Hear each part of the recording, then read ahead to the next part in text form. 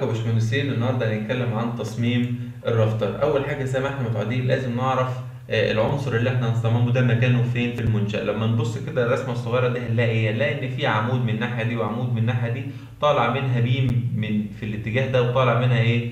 beam وبيثبتوا مع بعض هنا. آه بالنسبة لي ال beam ده اللي هو ال main beam ده هو ده إيه؟ ال rafter اللي أنا المفروض أصممه. آه يبقى إحنا زي ما قلنا ال rafter ده آه هو عبارة عن إيه؟ عبارة عن main beam وبيثبت في إيه؟ الطرف العلوي للعمود. آه، ال rafter ده بقى لازم نعرف الأحمال اللي جاية عليه آه، عبارة عن إيه أو إيه الأحمال اللي بيشيلها. هو بيشيل ال purlins بيشيل ال horizontal bracing وبيشيل ال corrugated sheet بتاعتي. أو طبعا لو أنا آه، حاطط بلاطة خرسانية فهو اللي بيشيل البلاطة الخرسانيه دي ويبتدي طبعا ينقل الأحمال إلى إيه إلى العمود. والعمود يبتدي ينقل الأحمال إلى إيه إلى ال- القاعدة ال steel. بتاعتي والقاعده ال steel تبتدي آه، تنقل الاحمال للقاعده الخرسانة والخرسانة تبتدي تنقل التربه آه، وتوزع إيه؟ الإجهادات ديت طبعا إيه؟ على التربة.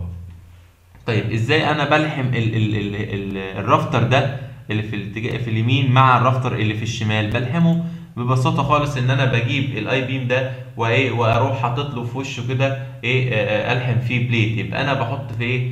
في plate عن طريق إيه؟ عن طريق اللحام. يبقى بثبته عن طريق إيه؟ عن طريق اللحام. وال beam التاني بعمل فيه نفس الكلام أحط له plate وأبتدي أربط إيه؟ أربط الاتنين ببعض عن طريق المسامير.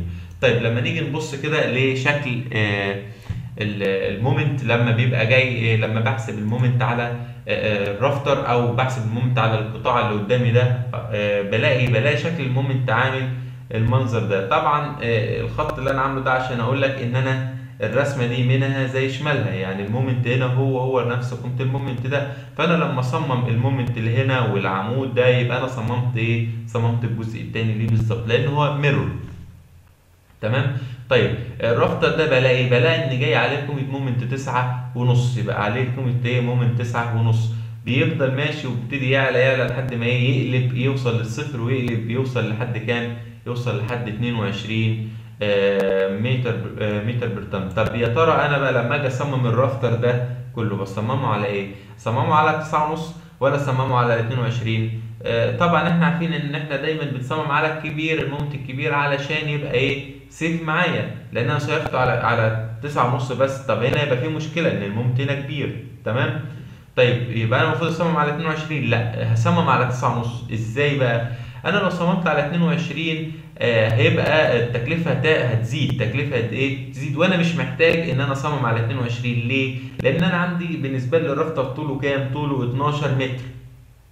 الجزء اللي المفروض بيعلى فيه ال moment لحد ما يوصل لحد 22 بيبتدي من 5.3 لحد إيه آه، بيبتدي من من ال zero أهو لحد إيه مسافة 5.33 يعني قيمة ال moment المفروض إن أنا هصمم عليها 22 آه، بتبقى كام؟ بتبقى 5 متر من 12 يبقى الباقي ده هيبقى cost على الفاضي. طب أنا أعمل إيه؟ بصمم القطاع كله على إيه؟ على التسعة ونص. تمام؟ بعد ما اصمم القطاع كله على 9 ونص أجي عند المنطقة ديت أحط إيه؟ double إيه double I I beam double I إيه I beam ليه؟ أنا هنا عندي القطاع ال moment زاد فأنا لازم إيه؟ القطاع بتاعي القطاع هنا يزيد. فأنا صممت طلعت هنا I B يبقى أنا أحط كمان زيه I beam إيه من تحت بالمنظر اللي إحنا شايفينه ده. يبقى المنطقة ديت أو ال section ده هتحط اتنين I beam فوق بعض. طيب نلاحظ حاجة بقى. نلاحظ حاجة إن المفروض ال I B هو عبارة عن إيه؟ ده 360 يبقى التاني 360 أمال ليه بقى 320 ده اللي هقوله لك في ال slide اللي بعده على طول. لما نيجي نبص كده في ال slide ده بنسميه حاجة اسمها الإيه؟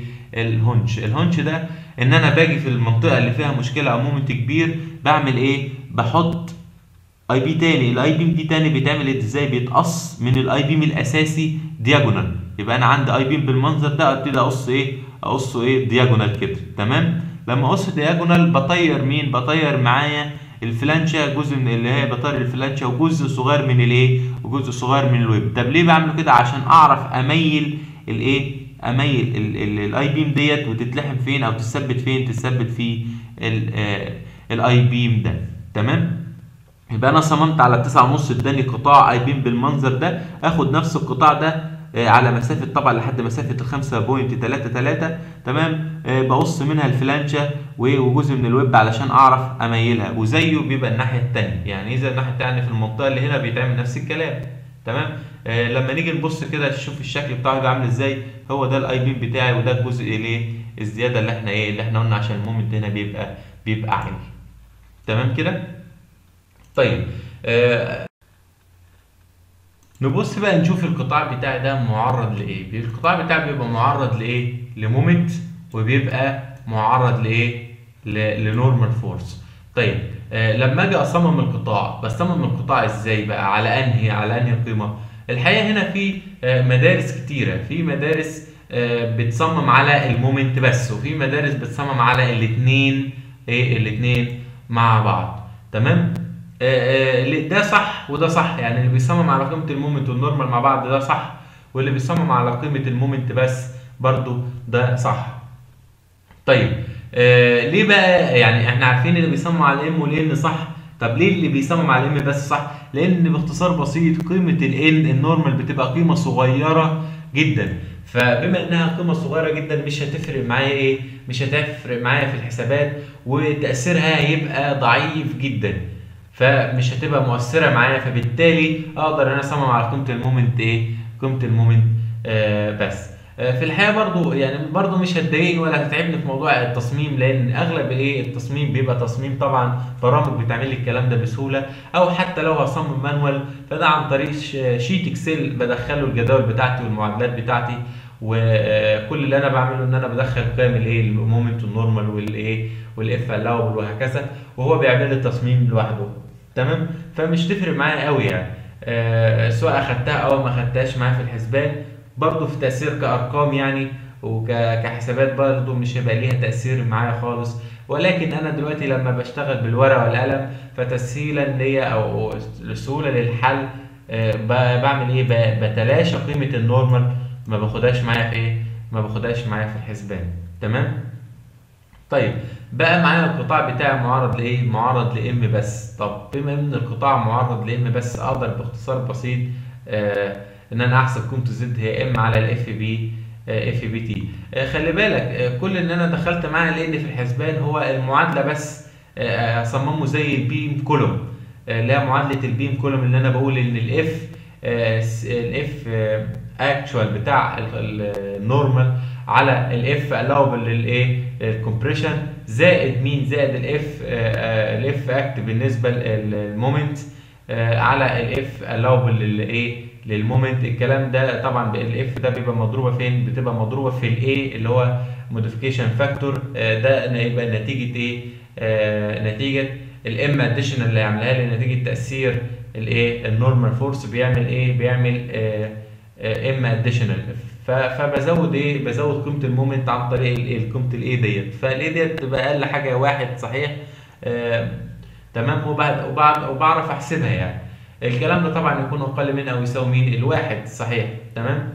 آه طبعا بما إن إن مفيش هنا normal فال term بتاع الايه ال normal force راح والايه modification مش هيبقى فيه آه M additional لأن مفيش normal force فبالتالي اتبقى لي مين؟ اتبقى لي إن ال F actual على مين؟ على ال F permissible bending أقل منها يساوي واحد. طبعا ال F permissible bending هي تروح مضروبة آه في الجزء الثاني آه أو في الواحد. فبالتالي هيبقى الناتج بتاعي إن ال F actual بيساوي إيه؟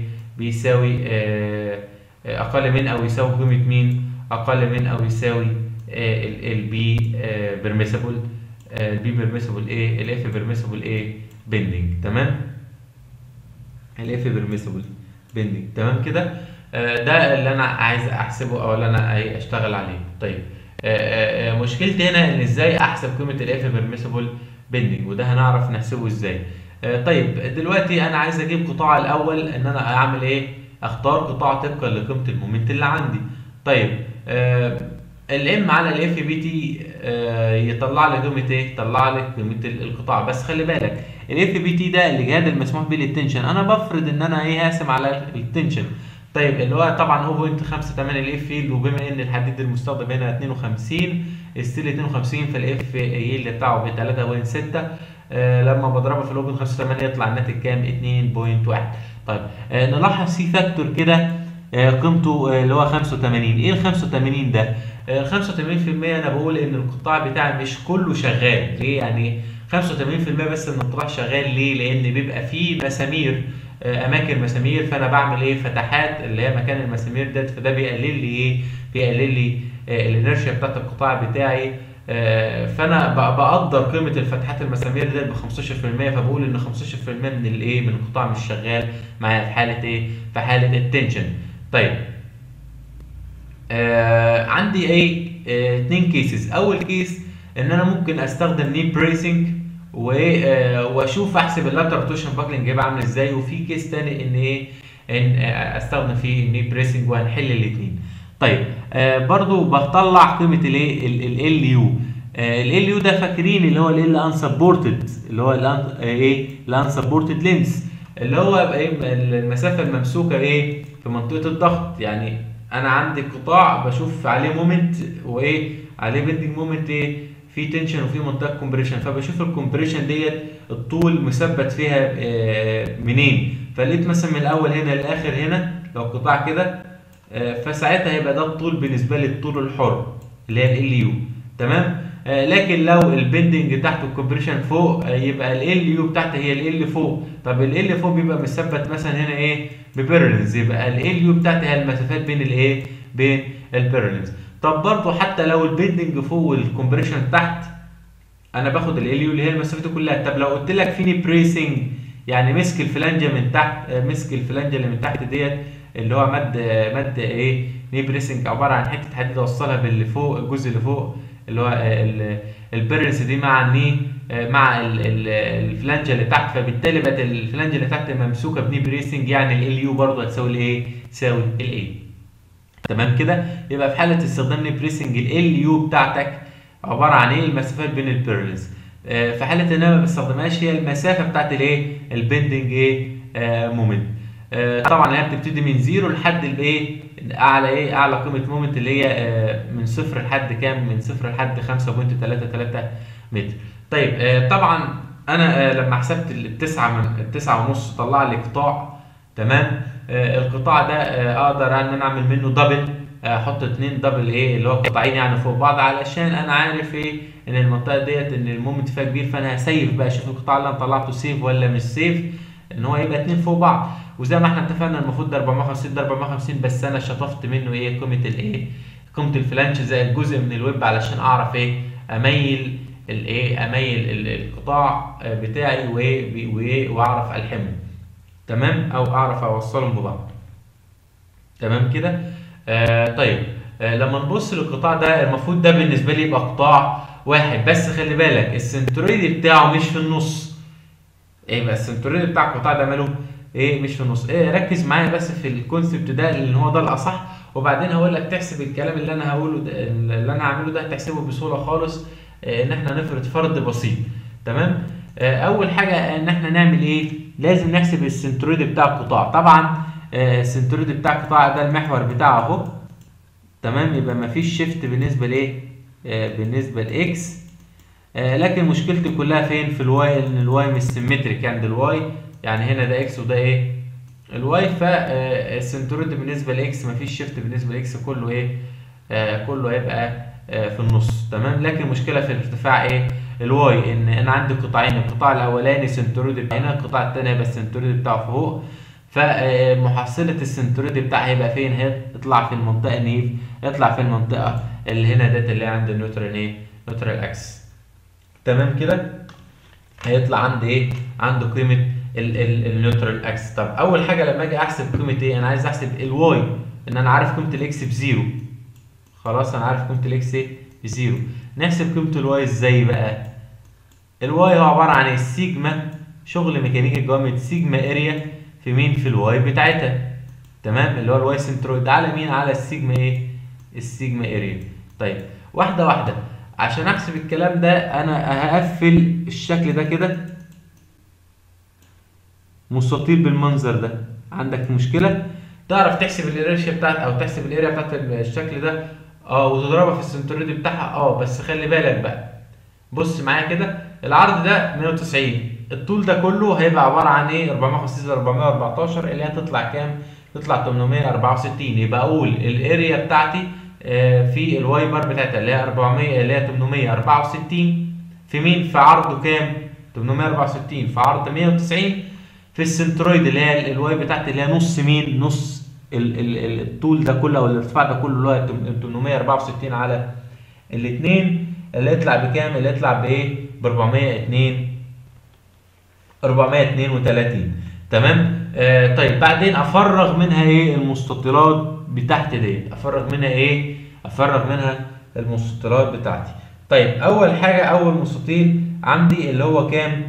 اللي هو آه المستطيل ده. تعرف تحسبه؟ آه أنا بالنسبة لي الحتة دي كام؟ الحتة دي من هنا لهنا 414 414 يبقى الطول بتاعي من أول هنا لفين؟ لحد الحتة اللي فوق دي. يبقى ال 414 هطرح منها قيمة إيه؟ قيمة الفلانجة دي لأن الفلانجة دي ده جزء شغال معايا لكن ده فراغ. فيبقى 414 ناقص ال 14.6 يديني كام؟ يديني 399 point إيه؟ point 4 طبعا يتضرب في العرض بتاعها. تمام؟ العرض بتاعها دي عبارة عن إيه؟ عبارة عن ال 190 ديت آه ناقص سمك الويب على الاثنين آه يديك إيه؟ عرض الحتة ديت اللي هتطلع 90 point إيه؟ 90 point آه point واحد. تمام؟ بعدين آه الكلام ده طبعا بضرب ده في سالب 2 يعني بعد ما حسبت ال area بتاعتها بضرب سالب 2 لأن يمينها وشمالها. تمام؟ في مسافة النقل بتاعتها اللي هي كام؟ اللي هي بالنسبة لي آه 414 ك ك مش 414 بقى نقول الحتة دي من أول هنا لهنا كام؟ طلعت 300 مثلا إيه؟ 399.4 على الإيه؟ على الاثنين يبقى 399.4 على الاثنين طيب بعدين نحسب برضو المثلث إيه؟ سوري المستطيل اللي فوق.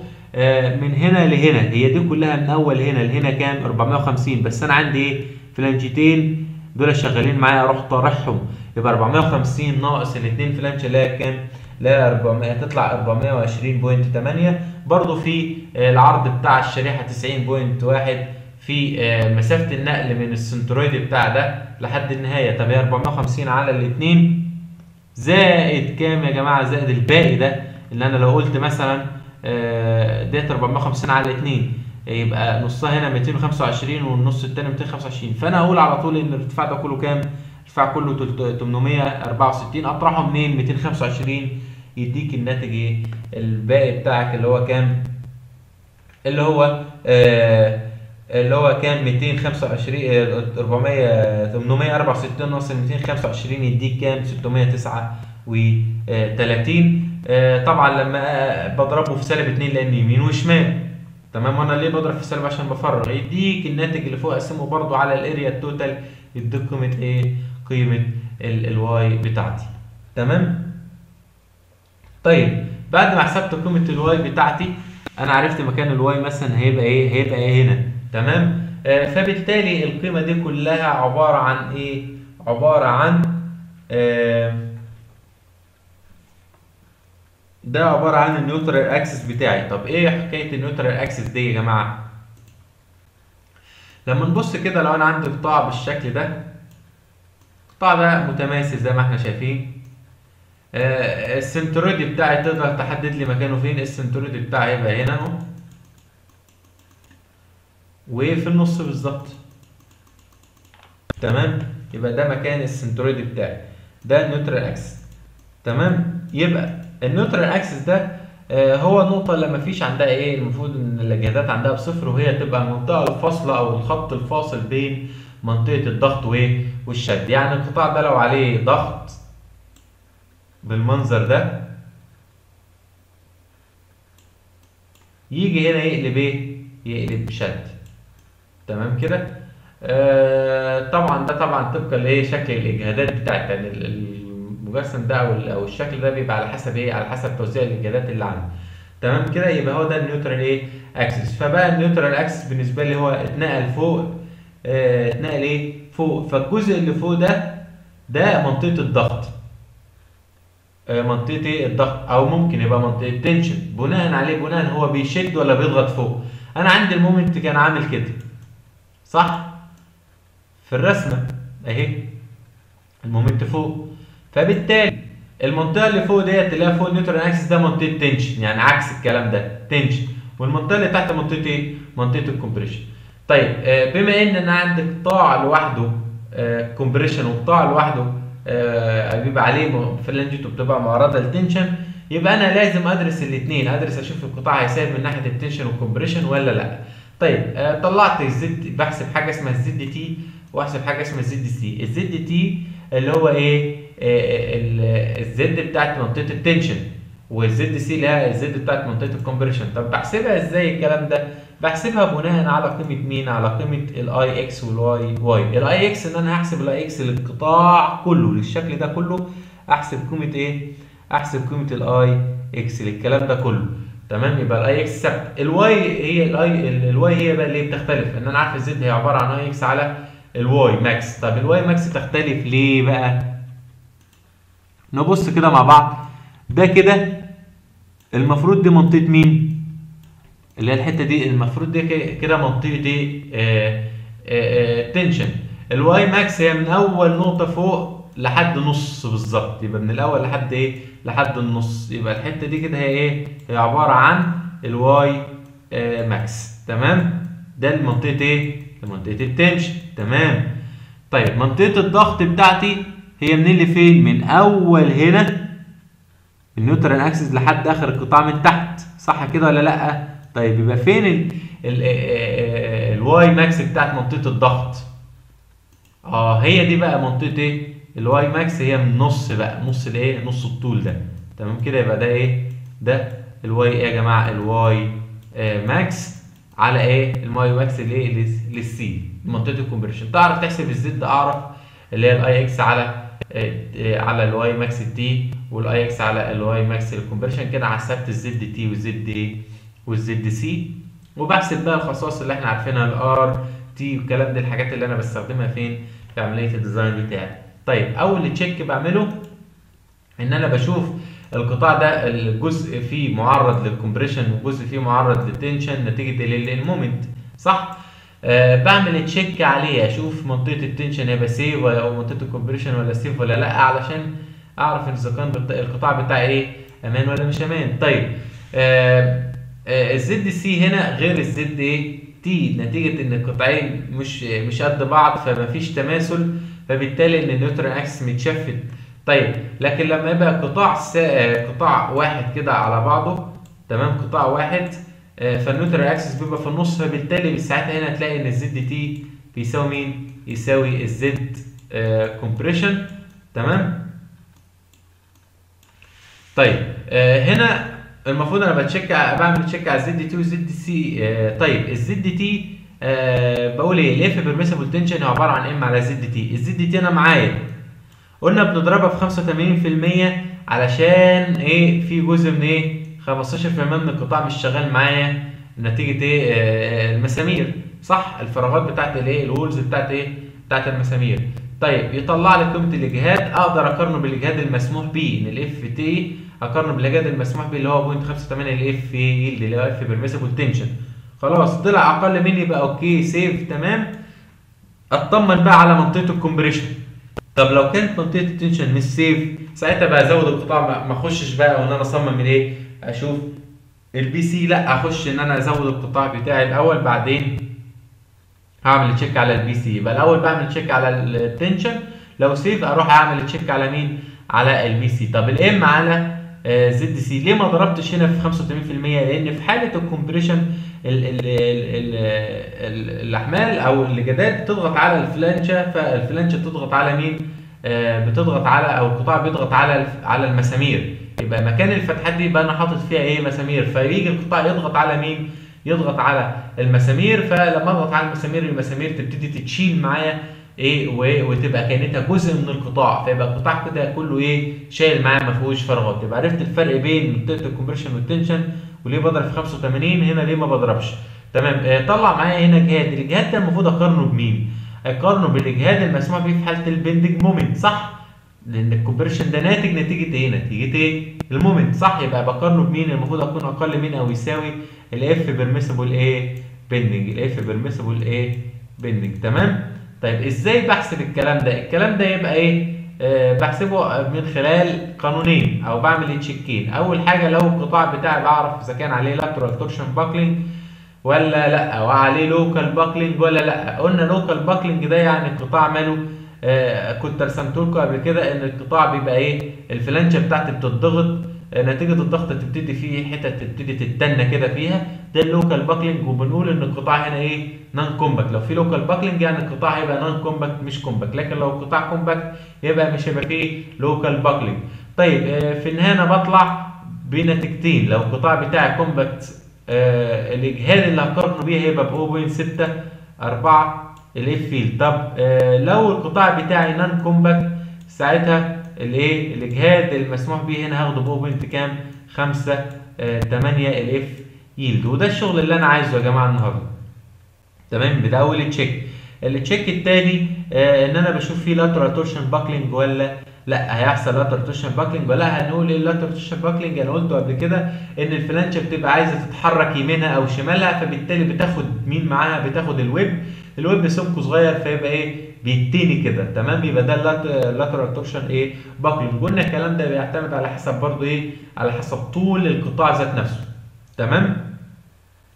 يبقى بشوف إذا كان في lateral torsion buckling ولا لأ بعمل إزاي lateral torsion buckling إن أنا بحسب حاجة اسمها L U اللي هي ال unsupported اللي أنا مطلعها من البداية وبقارنها ما بين رقمين. المفروض تكون أقل من أو يساوي قيمة ال إيه critical maximum إيه ال critical maximum دي لأن ال critical بتيجي من قيمتين بتيجي من إيه بتيجي من ال C 1 CR 1 وال CR 2 ودي لها قانون دي لها إيه؟ ليها قانون.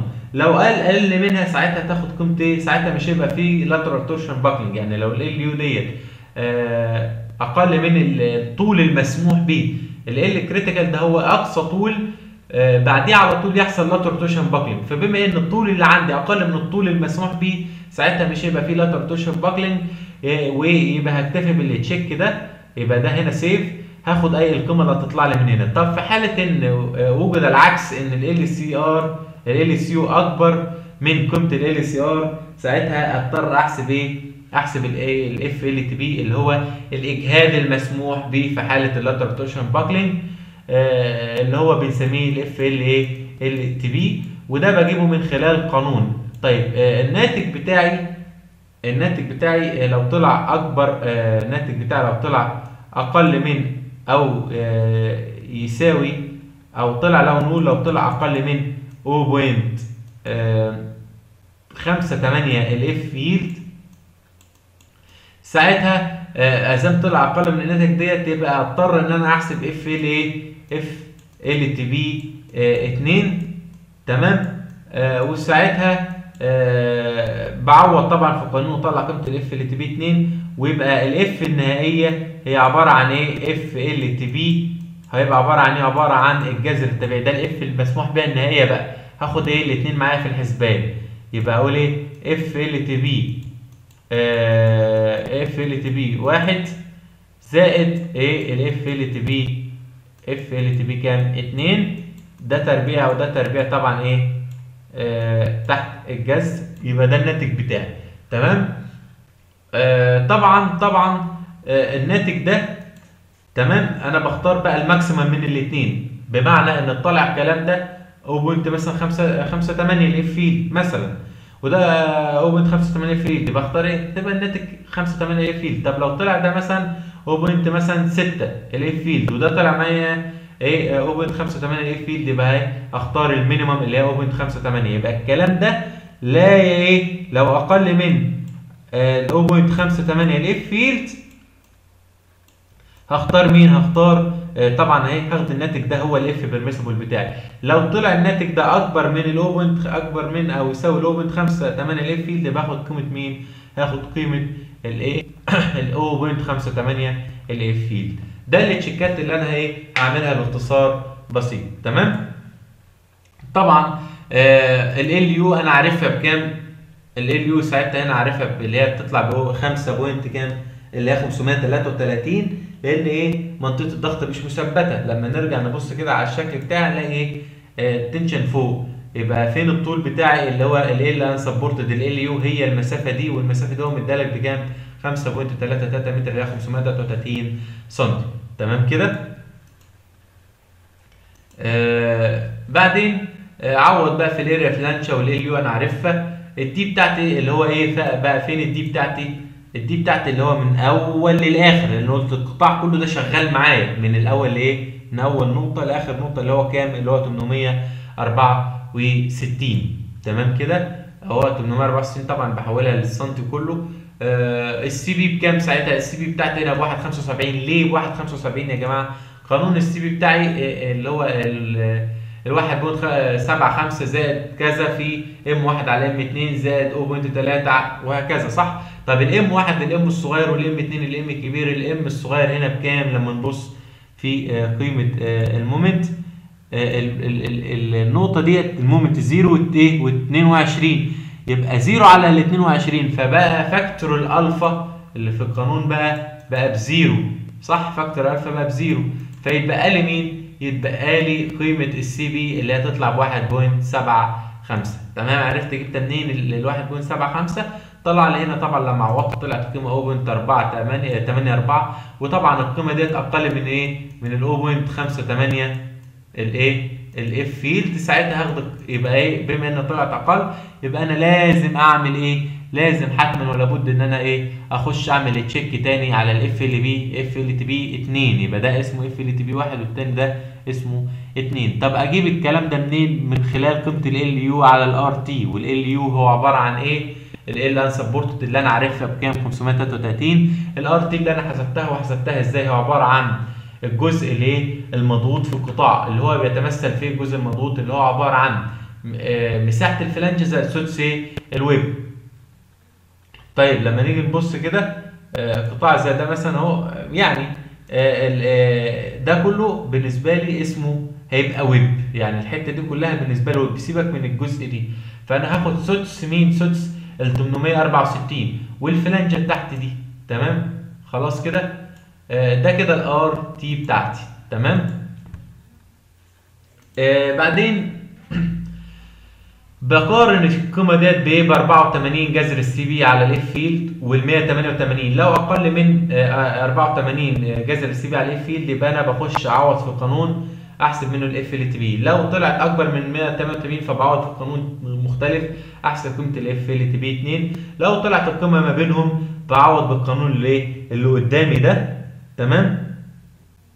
علشان أحسب قيمة مين؟ ال F LTB 2 طبعا ال F LTB 2 لو طلعت أكبر من ال 0.58 باخدها 0.58 لو طلعت أقل يبقى معايا قيمة القيمة ديت والقيمة ديت الثانية أحطهم تحت الجذر زي ما أنا كتبت في القانون اللي ورا ويبقى ده F LTB النهائي بتاعي. والمفروض إنه يكون أقل من 0.58 ال F ولو طلع أكبر باخد الايه ال 0.58 تمام؟ لو انت مشيت على الشروط اللي أنا اللي أنا عاملها من البداية عمرها ما إيه ما تطلع إيه آه ما توصل لل F LTB 2 وتبقى أكبر من 0.58 تمام؟ لو انت مشيت ان أنا طبعا أقل من آه أكمل. آه لو طلعت أكبر آخد الايه آخدها ب 0.58 وأتوقف. تمام؟ طيب. آه بعد ما طلعت ال F بتاعت المسموح بيها تطلع طبعا ده تربيع ده تربيع تحت الجذر يطلع 1.9 طيب يبقى أرجع تاني كده للمسألة بتاعتي أو ال check بتاع ال check of stress ده خلاص ده خلصت منه من البداية خلاص. آه مشكلتي ده أنا معاه ده الإجهاد الإيه؟ ال actual. أقارنه بالمسموح بيه. طب المسموح بيه بقى لما عملت التشيكات بتاعته طلع في النهاية بكام؟ طلع بواحد point كام؟ واحد point إيه؟ تسعة. آه طب يبقى ال actual أقل من ال allowable ولا مش أقل؟ أقل. يبقى القطاع بالنسبة لي يبقى safe ولا إيه؟ ولا مش هيبقى safe طب خلينا إن ال actual طلع اكبر من ال allowable ساعتها بقول إن أنا إيه القطاع بتاع نسيبه لازم إيه أزوده. ده كده كان أول إيه أول case ال case إن أنا LU بتاعتي فيه lateral torsion buckling يعني هنا أنا قلت فيه lateral torsion buckling وال LU بتاعتي قيمتها بكام؟ قيمتها ب آه خمسة آه كام؟ 533 سنتيمتر. طب في حالة إن أنا آه case اتنين إن أنا أقول إن أنا بستخدم يا جماعة آه knee bracing وجود ال knee bracing معناته إيه؟ معناته إن هو مسك لي إيه؟ مسك لي الجزء المثبت الجزء اللي إيه؟ المضغوط هيمسكها لي من آه من إيه؟ من ال purlins يمسكها لي من يمسك لي الفلانجة اللي من تحت فهتبقى LU بتاعتي هنا ساعتها هي المسافة بين الإيه بين ال purlins تمام اللي هي بقى المسافة بتاعتي بين ال purlins زي ما يبقى مطلع لي بقى قيمة المسافة دي قد إيه طبعا هو بقى ب 2 متر يبقى 2 متر قال لي 153 يبقى 153 قال لي 2 ونص يبقى 2 ونص. لأن أنا عارف المسافات بين ال purlins هي طبعا تبدا من واحد ونص حتى إيه؟ آه حتى 2 متر وتصل إلى 2 ونص. زي ما ما تكون أنا إيه؟ أنا هعوض. تمام؟ وأعمل نفس اللي أنا عملته بالظبط نفس التشيكات العادية خالص ما ما اختلفش حاجة. آه برضو نفس الكلام ده سيف. يبقى أنا مضطر أروح هنا ده طلع ب 0.826 يبقى أنا مضطر أروح أحسب الإجهادات الواقع عليه. بس خلي بالك آه الأرقام طبعا أنت إيه أنا غيرتها لسبب إن أنا جبت قطاع تاني يعني جبت قطاع مختلف تمام؟ وعملت check إن أنا أحط فيه آه إن أنا أحط فيه knee bracing تمام؟ عشان ما تقولش دي إزاي دي كانت ال Z بكذا لا ده هو عملت قطاع غيره يعني غير الأولاني كأنه example جديد في حالة وجود knee bracing تمام؟ طبعا أنت عايز تتأكد أو تشوف الفرق ممكن ت نفس القطاع اللي أنت فرضه القطاع اللي انت فرضته اللي هو القطاع ده نفس القطاع بس افرض ان في knee bracing وشوف هيبقى في فرق ولا ما فيش في ال الأول بس هو كده كده حتى في طلع في lateral torsion buckling وبرده القطاع هيطلع معايا إيه؟ هيطلع معايا safe فأنا قللت إيه؟ سمك القطاع هنا وهنشوف هيبقى إيه؟ ومنعت ان يبقى في lateral torsion buckling هنشوف القطاع هيبقى safe ولا إيه؟ ولا unsafe طبعا عملت آه طلع واحد 29 أقل يبقى safe بالنسبة لل bending يهمني بقى مين ال compression طلع معايا قيمة دي تبقى لازم احسب ال F permissible إيه آه ال F permissible bending أشوف بقى في lateral torsion buckling ولا لأ. طبعا مثلا طلع فيه تمام ما طلعش فيه. خلاص يعني أنا هنا مثلا طلع إن في lateral torsion buckling مثلا يعني طلع LU بتاعتي. LU max إيه LU max ديت؟ ال critical لما عوضت في القانوني نفس اللي أنا عملته بالظبط وال L actual بتاعتي ب 200 طب بما إن LU بتاعتي ال unsupported ب 200 وال L critical بتاعتي ال maximum آخرها 153 يبقى القطاع هيبقى عليه lateral torsion buckling ولا لأ؟ هيبقى عليه lateral torsion buckling إيه؟ طبيعي آه جدا.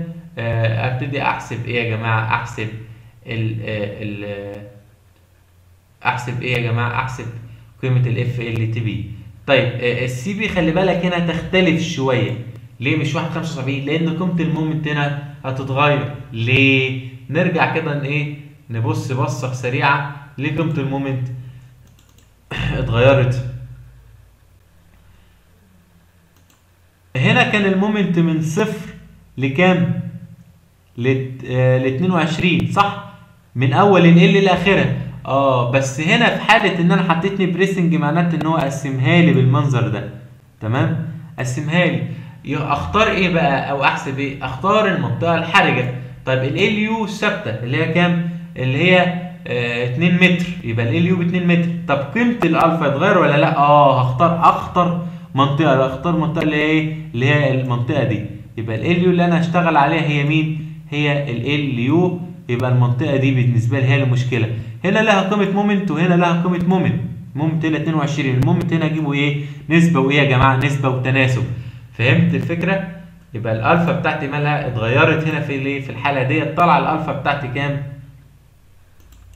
الألفا بتاعتي هتطلع آه بكام؟ بسالب 12 إن الاثنين في, نفس الاتجاه ال moment في نفس الاتجاه. إحنا اتفقنا إن إحنا بناخد قيمة واحدة منهم بالسالب. سالب 12.6 اللي هي قيمة ال moment. عند إيه؟ آه عند على ال 22 يطلع لي قيمة الالفا لما أعوض في قانون ال Cb يطلع لي ب 106 وإيه؟ 126 أعوض أطلع ال FLTB ال F ال تي بي طلع 1.6 طب الاف ال تي بي ده أكبر من إيه؟ أكبر من الاف آه أكبر من 0.85 ولا أقل؟ أقل. يبقى أنا لازم أخش أعمل ال check الثاني وإيه؟ وهكذا. نفس الكلام يا جماعة اللي أنا عملته. طبعا ده شكل يا جماعة إيه؟ وقارنه طبعا في النهايه اطلع قيمة ال FLTB واقارنها بالإجهاد الايه الاجهاد المسموح به ده بالنسبة للاجهاد المسموح به بقارنه بال F factor أشوف هل القطاع ده safe ولا مش safe طبعا الشكل ده شكل إيه؟ قطاع برضو زي ما أنا قلنا إن ده طبعا إيه؟ قطاع هو عبارة عن اتنين فوق بعض. ودي يا جماعة ال knee bracing اللي إحنا بنتكلم إيه؟ فيها إن أنا بثبت الجزء السفلي ده أو ال flange ة ديت هي اللي عليها ضغط مثلا أو ال flange ة ديت بثبتها بإيه؟ عن طريق knee bracing دي ال knee bracing يا جماعة اللي أنا بتكلم فيها. بس طبعا هنا آه، فرض مثلا إن ال moment مختلف يعني. تمام؟ إن هنا ال tension فوق compression إيه؟ compression تحت. فأنا ثبت الجزء اللي تحت عن طريق إيه؟ عن طريق ال knee bracing بثبت ال knee bracing في ال purlins و و- آه، وال knee bracing الطرف الثاني بثبته فين؟ في ال flange ات السفلية. تمام؟ ونفس الكلام ده المفروض يتكرر يعني. تمام؟ آه طيب يبقى ده كده كان نهاية الموضوع بتاعي آه اللي هو ال rafter آه يبقى خلاصة الكلام اللي إحنا قلنا عليه آه إن أنا ابتديت أصمم إيه؟ إن أنا عايز أعمل آه check على القطاع ده بصممه as beam عادي خالص. بس خلي بالك بقى مشكلتي كلها فين؟ مشكلتي كلها في الحسابات ديت إن أنا أطلع إيه؟ Zt و Z مش عارف إيه وال Ix وال y ومش عارف آه طيب فأنا تسهيلا للحل تسهيلا للحل. أعتبر نفسي إني مش شايف الجزئية دي اللي هي الحتتين دول الصغيرين دول.